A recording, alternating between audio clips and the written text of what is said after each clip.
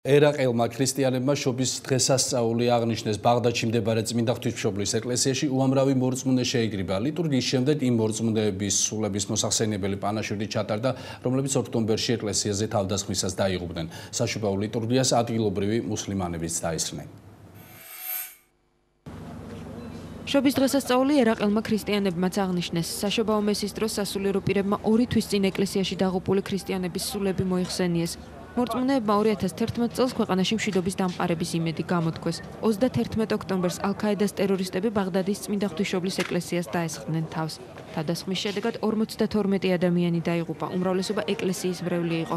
შესაძლო ტერაქტების გამო სასულიერო პირებმა მოუწოდეს ქრისტიანებს შობა მოგრძალებულად აღნიშნონ. ჩვენ წუხარებას ვერ ვმალავთ ეკლესიაში მისვლისას ორი თვის წინ მომხდარი მოვლენები გვახსენდება. არც კი ვიცი რა ვთქვა წინაშობაზე ძალიან ბედნიერები ვიყავით. შობა ახლაც გვიხარია. თუმცა იმ მოვლენების შემდეგ ჩვენი ცხოვრება რადიკალურად შეიცვალა. ეკლესიაში მისულმა მორწმუნეებმა იმედი გამოთქვეს რომ ქვეყნიდან იმიგრირებული ქრისტიანები სამშობლოს მალე დაუბრუნდებიან ქვეყანაში მშვიდობის დამყარება თითოეული ერაყელის სურვილია. ჩვენ გვინდა ნორმალურ ცხოვრებას დაუბრუნდეთ და გავერთიანდეთ იმ ერაყელებთან რომლებმაც ქვეყანა ტერაქტების საფრთხის არსებობის გამო დატოვეს.